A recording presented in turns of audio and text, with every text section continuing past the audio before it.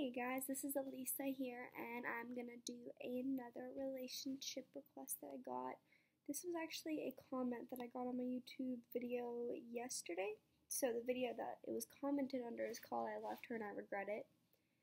And the guy who, I guess I won't say your name because I don't know your name. I know your username, but I don't know your actual name. It says, I broke up with my girlfriend recently and it's been some time now, but I can't tell if I made the right decision. Our relationship was two years, but half of those years we were in and out. The reason we had so many breakups was because of resentment, jealousy, trust issues, and more. But the thing that affected us the most was when she cheated on me. We were trying to work things out after it happened, but it just wasn't the same. She changed. And yes, she did try, but I didn't feel like she gave it her all to prove herself to me. I felt very unhappy about it, and I wanted all I wanted was for her to love me and prove to me through her actions just how much. I didn't want to break up with her, but I just thought it was best because I felt like she didn't love me anymore the way that she used to and that she didn't actually want to be together. I felt like she wanted me to break up with her so that she wouldn't have to bear the pain of making the decision. Is cheating on someone a mistake? Can it ever really be forgiven? I just feel like she doesn't even regret it. I just don't know what to do but focus on myself right now. I still love her, but right now I don't know if reaching out's the right thing to do. Do you have any advice? All right, well that was very well written. I appreciate your your very good grammar and your clarity when typing that. So thank you. Um, that's actually a really good question. I personally think that I've gotten really bad at like transitioning into my advice like I used to just be really good at like talking and then like smoothly gliding my advice in there, but I can't do that anymore. I lost that skill, so now I'm just like being more upfront.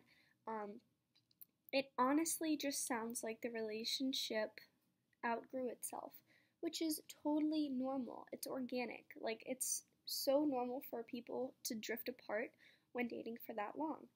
And you mentioned that like you dated for two years, but half of those were spent like fighting and like being in and out a lot of the times when that happens, you are already moving on before even breaking up.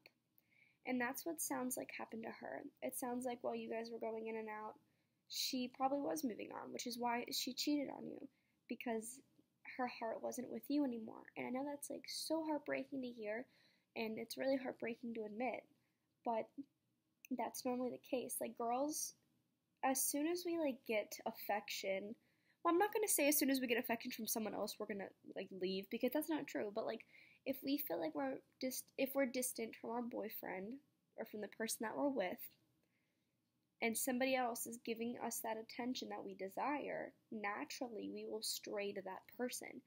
And that's what sounds like happened with her. Uh, somehow she wasn't being emotionally satisfied from you anymore. But she had a year, a year and a half to two years of getting it. But it's not supposed to be forever, you know, like seldom anything is a forever thing nowadays, or even at all. So it just sounds like while you guys were going in and out, she she was moving on. And I feel like the reason why you are beating yourself up about it is because you are probably uncomfortable with the change, which is fine. Sometimes we break up and we know that it was the right thing to do, but we don't miss the person, we miss having the relationship, and we miss having that comfort, we miss having that component. If someone's in your life for two years, that's really hard to let go of, really hard. And that person could kill your family, literally kill your family, and I feel like there would always be a part of you attached to them. I know that's like so morbid. I really, I guess I don't mean it literally, but like somebody could literally do something to such a terrible caliber. And if you really love that person, there's always going to be a piece of you with them.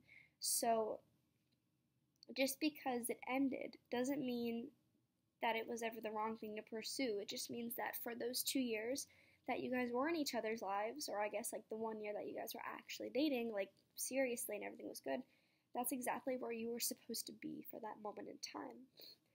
But you said she changed, and honestly, it happens. When girls change, it's typically a pretty drastic change. And I know when I change, I've changed a, I'm not gonna say a few times since I've started college, but I, I think I've ultimately changed. And change requires cutting strings and tying new ones. So I've lost a lot of people since, I started, since I've started college because they were impeding on my growth as a human, as my they were impeding on my like pursuit of success, of knowledge, and I feel like they just weren't long term. Maybe at one point in my life they were exactly who I needed them to be. They were the friend that I needed in that moment. They were the boyfriend that I needed in that moment. They were everything that I needed in that moment. But like as of today, there's no room in my life for those people anymore. And it's not it doesn't mean that they didn't ever have a purpose in my life. It just means that they don't anymore. And that's something that you really have to realize. And once you do realize that, it's good. And I know it's hard to see it right now because y'all just broke up, but eventually you'll see the reason. Um, it takes a long time. It took me a, a long time before I could see any positivity for my breakup, but it does come eventually. And I think that you know deep in your heart that you made the right decision because you I just hear it like like literally just by the way you're typing, I just feel like you know when you're like deep, deep, deep in your heart it was the right decision because she did cheat on you. And you don't do that to somebody you love. You don't. You don't do that to somebody you love. And is cheating on someone a mistake? I personally don't think it is. Some people argue that it is, like, oh, I was drunk, oh, I was this, I was that. That's fine. Those are really good excuses, but it's not enough. At least for me, it's not, and it shouldn't be for you either. Um, I don't think it, it's a mistake. I think especially if you felt like she was distancing herself, it's it, it's no surprise to me that that she went off and did that because she was already halfway there. You know, she was already pulling away. She was changing. You guys were in and out. It's just all the signs, you know, all the signs that typically lead to che- to cheating are those. So your other question was, can it ever really be forgiven? Of course, you can 100% forgive a cheater but it doesn't mean that you should let them back in your life. It doesn't mean you should give them another romantic chance. It doesn't mean anything. You can forgive them. I forgive everyone who's done me wrong, but I would never let them back in my life. I would never let them have any influence over my emotions ever again because they don't deserve it. So, um, if you're saying it feels like she doesn't even regret it, the thing I think about that is she probably doesn't, or she does deep, deep down, but she's like repressing it and covering it up with all these externalities, like distancing herself. She's probably going off and what, like partying, hanging out with friends. Like maybe she does feel guilty, but I feel like if she ever does realize she messed up, it's not going to be right now. It might be later on down the line, but as of right now, I feel like she is content with what happened. Of course, just because you're content with something doesn't mean it doesn't hurt. You guys are probably both hurting because the loss of a two year relationship is morbid. Sorry, someone just texted me and I have like incredibly bad ADHD. Like, I don't even remember what I was saying. Okay, the loss of a two year relationship is morbid, but just because it ends and you're uncomfortable doesn't mean that's a sign that it's meant to be. It just means that you're a human and you're capable of emotions and you're doing the right thing by reaching out because I honestly do feel like in your heart you know what's best for you. Like it sounds like there's nothing in this message that's making me believe that she wants to be with you or she wants to like give it another shot. It sounds like you guys already ran your course, which is totally fine. Like honestly, let it. You know, you're the one who you might not feel like it, but I feel like the ball's definitely in your court here. You're the one with the upper hand because you're the one who's been cheated on. You're the one who broke up with her. Like you are definitely the one who you deserve to make all the decisions that you are making. And you shouldn't feel bad for making the decisions that you did because cheating, I take that extremely seriously. And if that was like, if I was in your shoes, that would have been the last straw. I wouldn't have even considered giving her another chance or considered doing anything. But the fact that you are really shows me that you care about her as a person, which is super special. But it also shows me that she does not deserve you. If you go out of your way to reach out to some random stranger on the internet asking for advice, obviously confiding in me, and she's off doing her own thing, sleeping with other people, you feel like she wanted to break up too, but she didn't have the, the balls to do it, she changed, then you're you're way ahead of the game here. Like you're the one ahead. You're the one who ultimately is better off. Okay, I don't think it's her loss at all. Um, I definitely. I'm sorry. I don't think it's your loss at all. I think um, I was reading that when I was talking. It's not your loss at all. If anything, it's her loss because she lost somebody who cares enough to confide in a random stranger on the internet. Um, and she's the one who just wanted to break a friggin' heart and do her own thing. And there's not a single part of me that thinks she deserves another chance. You seem like a really cool guy, really sweet, really smart. You know what's right, you know what's wrong. And I feel like you should take all that wisdom that you have and invest in somebody who will reciprocate that and who will give you exactly what you're looking for. And and somebody who, if this was happening with y'all, she would message me too. Like, you need a girl who loves you so much that if y'all got in a fight, she would do everything she can to fix it, whether it's reaching out to a random state. Like, I want, I want that girl to message me the other half of the story saying, hey, I cheated on my boyfriend, I regret it so much, and I, I want him back. I'm not getting that from her because I'm looking at my notifications and there's nothing in here from her. I mean, she might be messaging another guy, whatever.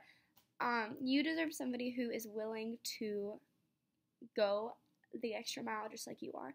And I don't think you should invest any more of your time and energy into this. Of course, it's going to be hard. You know, you're going to have withdrawals for a very long time, probably for months and months to come. Unless you're like not like me, then it'll probably be a few weeks like normal people. But in the meantime, I think you should stay off the dating sites because that always makes it worse. It makes you want to. It makes you break more hearts because then it makes you just want to like use girls who don't deserve it because I've been in that position and it sucks. So don't go on the dating sites because then you're not dealing with your pain properly. You're just suppressing it. Um, I really do think you should, and I give this advice to everybody: don't dig a hole, but I don't know how to word it. Jeez, I'm really bad at advice now. Um, don't deepen the hole that's been dug. So, um, it's like example given don't party don't do drugs don't go on tinder don't do all these things that will just deepen the hole do things that will build onto the hole like learning a new skill learning a new craft doing art lessons karate picking up a new hobby going to the gym more like do things that add to your life and not take away. That is the ultimate goal to moving on. And I feel like if you do that, you'll be fine because then you'll realize how much better you deserve and how she's not the person for you. So, I know it's rough because it's been two years, but she did serve a purpose in your life for those two years. But now her purpose in your life is just to teach you a lesson and to show you what you can step off of to get better. Does that make sense? Um, so that's pretty much my advice. I'm sorry if I missed, I don't think I missed anything, but if I did, please let me know. Shoot me an email if you ever need more help. Let me know if anything happens. I'm super interested to hear um, where this goes from here. And yeah, you deserve better. And don't forget, and thank you so much for confiding me. And if anyone else has any questions, shoot me an email, comment on a video, do whatever. Follow me on Instagram subscribe, even feel free to Venmo me because I'm broke. at Alisa Flum. Thank you so much and have a great day. Bye, guys.